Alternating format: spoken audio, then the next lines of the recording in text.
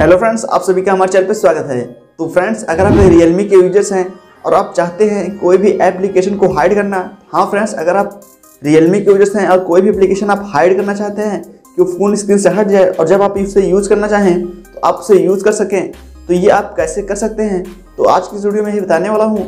तो friends video पसंद आया तो लाइक करना और चैनल में सब्सक्राइब करना। आइए वीडियो को स्टार्ट करते हैं। तो फ्रेंड्स आगे अपने फ़ोन स्क्रीन पर तो आप इसे फुल स्क्रीन के फ़ोटो पकड़ लीजिए।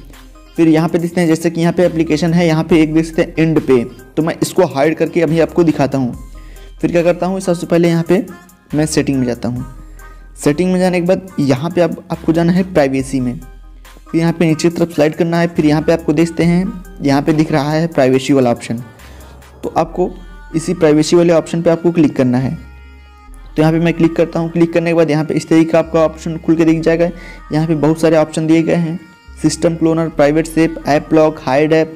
तो यहाँ पे देखते हैं, सभी ऑप्शन दिए गए हैं। तो जैसे कि मुझे ऐप को हाइड करना है तो यहाँ पे हाइड ऐप पे क्लिक करूँगा। तो फिर आपको यहाँ पे ऐप पासवर्ड वाला जो है, वही डाल देना है पासवर्ड। फिर आपको यहाँ पे अपने जिस एप्लीकेशन को आप हाइड करना चाहें, यहाँ पे सारे एप्लीकेशन दिए गए हैं। जैसे कि मैं इंड पे को हाइड करना चाहता हूँ तो हाइड पे क्लिक, सॉरी, कहाँ गया? यहाँ पे इसका इंड पे तो इसको ऑन कर दूँगा।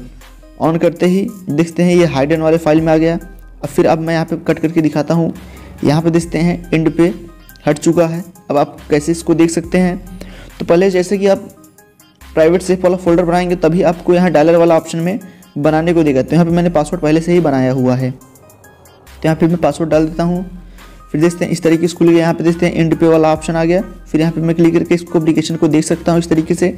या अगर आप डायरेक्ट वहाँ पे सेट नहीं किए हैं तो आप यहाँ पे सेटिंग में जाकर फिर उसी ऑप्शन में जाएँगे।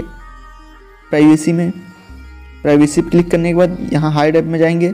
फिर आपको पासवर्ड डालना है। पासवर्ड डालने के बाद यहाँ पे हाइड एंड फ़ाइल में जाएँगे। फिर यहाँ पे इसको ऑफ़ कर देंगे। फिर आप देखते हैं, यहाँ पे एप्लीकेशन आ गया। अब आप इसे अच्छा अच्छे से यूज़ कर सकते हैं पासवर्ड डाल के। तो फ्रेंड्स आई होप आपको ये वीडियोस पसंद आई होगी। पसंद आई हो तो लाइक करना और चैनल पर सब्सक्राइब करना। मिलते हैं नेक्स्ट वीडियो में।